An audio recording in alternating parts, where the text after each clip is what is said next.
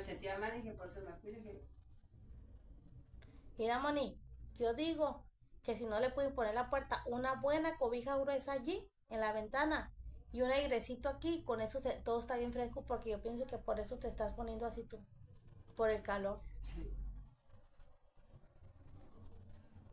Sí, por el calor.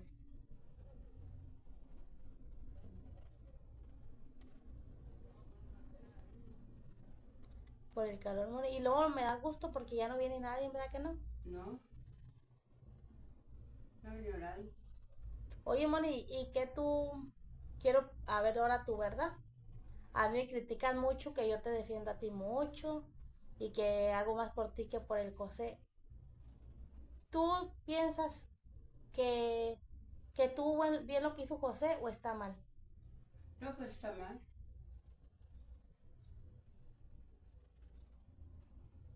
Pues yo no sé qué pasa realmente, ¿entiendes? Pero pues que te haya faltado respeto y eso, ponerse a discutir contigo, pues. Porque sí me dijo la señora, la señora Blanca que supuestamente te había querido arrebatar el teléfono, que estaba discutiendo contigo, te, te estaba diciendo groserías.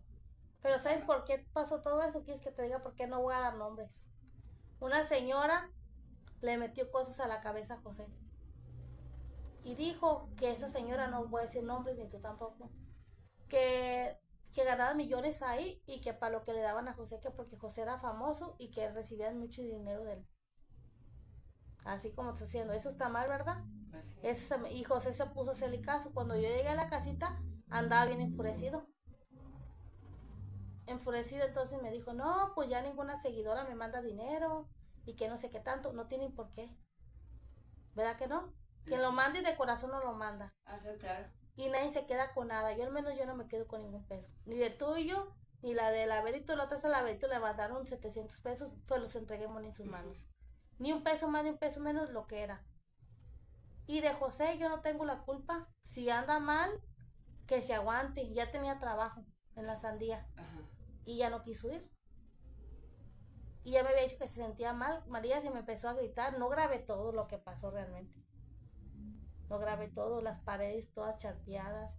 Y eso. No, pues que tú defiendes a Mónica, que la Mónica es tu preferida. No, yo tengo el trato para los dos y a ti te ha costado. Claro, claro.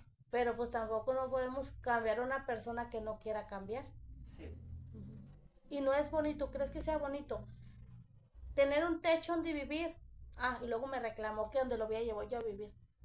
¿Cuánta gente quisiera, Moni? Dime la verdad, todos los, los señores que andan por ahí, tener ese cuartito el que tenía José. Ah, claro. Y me dijo, mira nomás qué cochinero, ¿dónde me trajiste ese chichicuicuilito? Y no sé qué palabra me dio.